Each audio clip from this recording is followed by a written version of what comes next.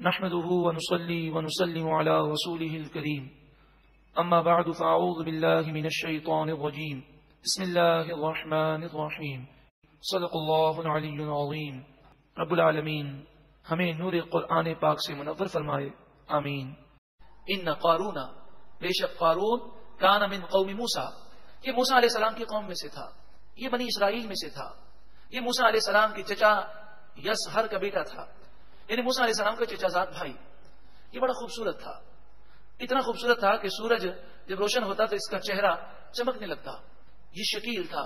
اس کا نام لوگوں نے منور رکھا۔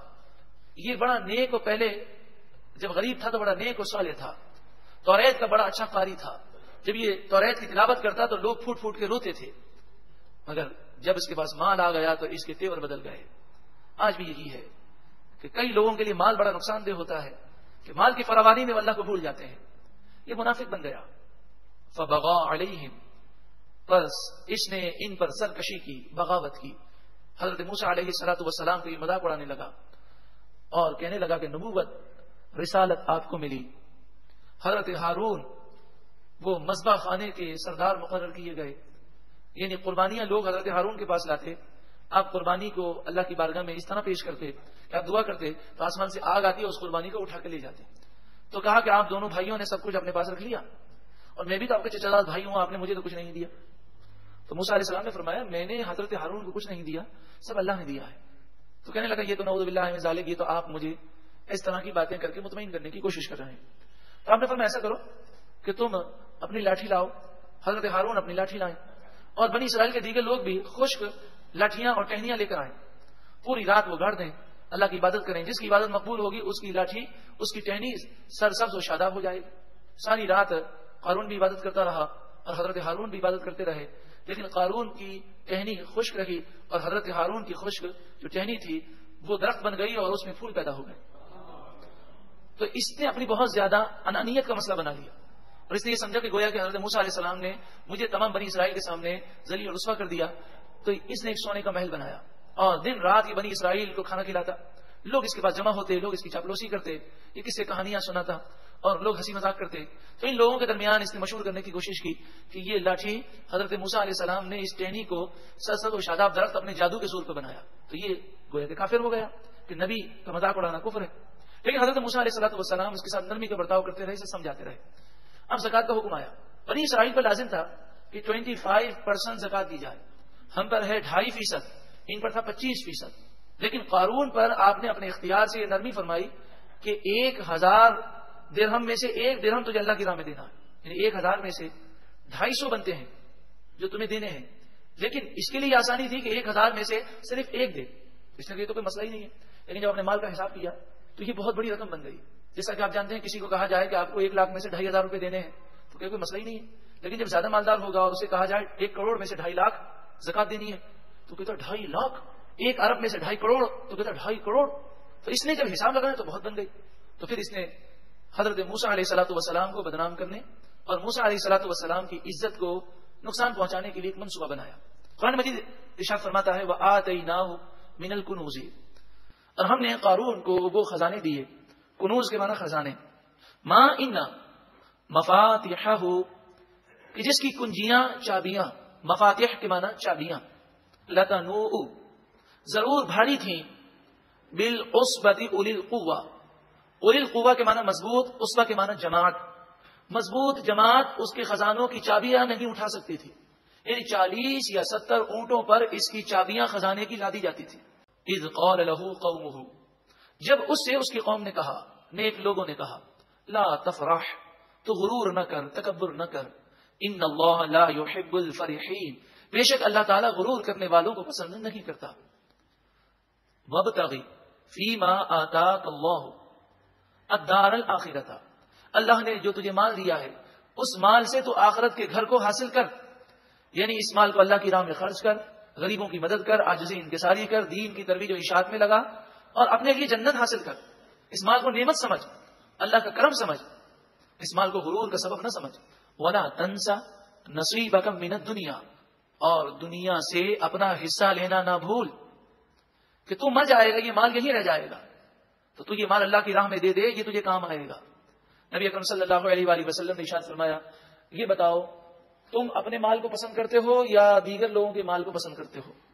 یعنی تم مالدار ہو جاؤ، مال تمہارے پاس ہو، یہ زیادہ خوشی کا باعث ہے کہ کسی اور کو مال ملے تو تم خوش ہوتے ہو۔ صحابہ کرام علی مردوان مسلمانوں نے عرض کیا رسول اللہ صلی اللہ علیہ وسلم، ہمیں تو خوشی اسی میں ہے کہ ہمیں مال ملے۔ ایک انسانی فطرت یہی ہے کہ کسی کو اگر مال ملے تو اس سے اتنی خوشی نہیں ہوتی جتنا ہمیں مالی نفع ملے۔ تو آپ نے فرمایا، کہتے تو تم یہی ہو لیکن کرتے اس کے خلاف ہو۔ تم دوسروں کے مال کو پسند کرتے ہو۔ پھر آپ نے فرمایا، تمہارا مال تو وہ ہے جو تم نے استعمال کر لیا، جو پہن لیا اور پہن کر پرانا کر دیا، جو کھا لیا اور کھا کر ضائع کر دیا۔ اور اصل جو تمہارا مال ہے وہ ہے جو تم نے اللہ کی راہ میں دے دیا۔ باقی جو تمہارا مال جمع ہے وہ تمہارا نہیں، تمہارے ورثہ کا ہے۔ کہ مرتے ہی تمہارا حق ختم ہو جائے گا۔ رسول اللہ صلی اللہ علیہ وآلہ وسلم نے اشاد فرمایا، ان الناس فی الفقر. لوگ محتاجی میں ہیں، محتاجی کے ڈر کی وجہ سے۔ اس حدیث غور کیجیے۔ آپ نے فرمایا، بے شک لوگ فی الفقر، محتاجی میں ہیں، محتاجی کے ڈر کی وجہ سے۔ مراد یہ ہے کہ انسان اپنے مال کو خرچ نہیں کرتا، اللہ کی راہ میں نہیں دیتا اور وہ کنجوسی کرتا ہے، کیوں؟ یہ مال مجھے آگے کام آئے گا۔ تو اس ڈر کی وجہ سے کہ یہ مجھے مال کام آئے گا، کہیں میں غریب نہ ہو جاؤں اس وجہ سے وہ آج ہی غریب بنا ہوا ہے۔ نہ اپنی ذات پہ خرچ کر رہا ہے، نہ اللہ کی راہ میں خرچ کر رہا ہے، کنجوسی میں لگا ہوا ہے۔ رات دن اسے یہی فکر ہے کہ میرا مال کہیں ختم نہ ہو جائے۔ اچھا اتنا خرچہ ہو گیا۔ او، آج تو اس دفعہ تو زکات ڈھائی لاکھ روپے نکل گئی۔ یہ ایسی فکر کے اندر مریض بنتا جا رہا ہے۔ ارے، اس سے پہلے کہ موت یہ مال ہم سے چھین لے۔ اللہ کی راہ میں دے کر اپنا حصہ ہم حاصل کر لیں۔ فرمایا، ولا تنسا نصیبہ کا مینت دنیا دنیا سے اپنا حصہ لینا نہ بھول۔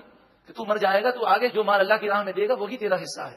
اپنا حصہ نکال لے، ورنہ تو یہ لوگوں کا مال بن جائے گا۔ وہ آحسن اور تو احسان کر۔ کما احسن اللہ علیہ کا جیسا کہ اللہ تعالیٰ نے تجھ پر احسان کیا، غریبوں کی مدد کر۔ کسی کو حقیر نہ سمجھ، غرور نہ کر۔ ولا تبغل فساد فی الارض اور زمین میں فساد نہ پھیلا۔ ان اللہ لا يحب المفسدین بے شک اللہ تعالیٰ فساد کرنے والوں کو پسند نہیں فرماتا۔ جس طرح ہمارے یہاں ہوتا ہے کہ جب تک پریشان ہے تو کہتے ہیں دعا کریں، اللہ کرم کر دے، بڑی حالت خراب ہے معاشی طور پر بڑے پھنسے ہوئے ہیں۔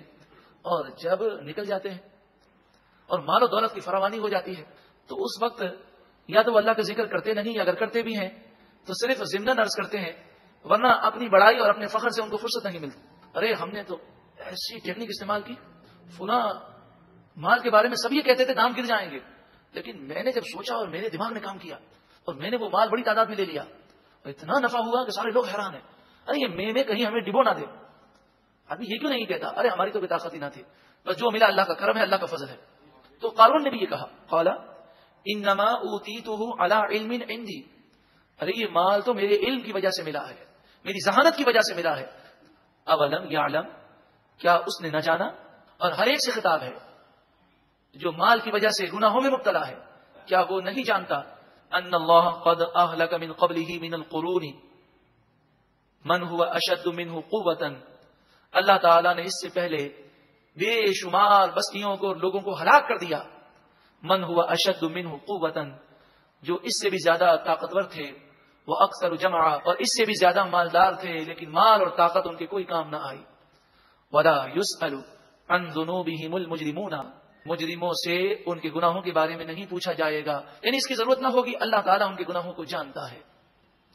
قیامت کے دن مجرموں سے گناہوں کے بارے میں سوال ہوگا انہیں شرمندہ کرنے کے لیے۔ اس لیے سوال نہیں ہوگا کہ جیسے کورٹ میں، عدالت میں جج پوچھتا ہے کہ اسے پتہ نہیں ہوتا۔ اللہ تعالیٰ تو علیم ہے، خبیر ہے۔ فخر قومی فی زینتی اب اس نے حضرت موسا علیہ صلاحت والسلام کے سامنے غرور کرتے ہوئے پہلے اپنی مالی طاقت لوگوں پر مالی روب دبدبا بٹھانے کی کوشش کی، تاکہ لوگ موسا علیہ السلام کے مقابلے میں مجھ سے مروب ہو جائیں۔ فخر جب پس نکلا اللہ قومی اپنی قوم کے سامنے، فی زینتی ہی اپنی دولت کی نمائش کے ساتھ۔ یعنی چل رہا تھا، اس کے پاؤں کے نیچے سونے کی اینٹیں رکھی جا رہی ہیں۔ چاروں طرف دولت کے انبار اور اس کی نمائش اور نام و نمود ہو رہا ہے۔ اسلام نمائش کو پسند نہیں کرتا۔ اور خصوصاً اس انداز میں نمائش کرنا، جس سے غریب احساس کمتری کا شکار ہو اسلام کو یہ طریقہ ہرگز پسند نہیں ہے۔ قول الدینہ یریدون الحیات الدنیا۔ ہر دور میں ایسا ہوا کہ جو لوگ دنیا کے لالچی ہیں، وہ ایسی چیزوں سے مروب ہو جاتے ہیں۔ اشاد فرمایا، جو دنیا کی زندگی چاہتے تھے، انہوں نے کہا، یا لئی تلنا ہائے ہم پر افسوس ہے۔ کاش ہمیں ملتا، مثل ما اوتی قارون۔ جیسا قارون کو ملا، جیسا قارون کو دیا گیا، کاش ایسا مال ہمیں بھی ملتا۔ مال ہونا کوئی کمال نہیں ہے۔ مال ہو اور اللہ تعالیٰ مال کے فتنے سے بچائے، غرور و تکبر سے بچائے، بندہ فرما بردار ہو، اللہ تبارک و تعالیٰ سے ڈرنے والا ہو، مال کے حقوق ادا کرتا ہو، تو یہ مال اس کے لیے نعمت ہے، ورنہ یہ مال اس کے لیے عذاب ہے۔ اور جس طرح مالدار کو ہم نصیب والا سمجھتے ہیں کہ جی بڑا نصیب والا ہے، بڑا پیسہ ہے۔ ان نحو تو یہ دنیا کے متوالے یہی کہنے لگے کہ بے شک قارون بڑے نصیب والا ہے۔ وقال الذين اوتوا العلم۔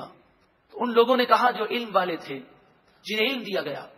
وہی لکم، ارے تمہاری بربادی ہو، تمہیں کیا ہو گیا؟ یہ مال جو اللہ کی نافرمانی میں خرچ ہو۔ ایسا مالدار کہ جو اللہ کا نافرمان ہے، اس کے لیے مال نعمت نہیں، اللہ کا عذاب ہے۔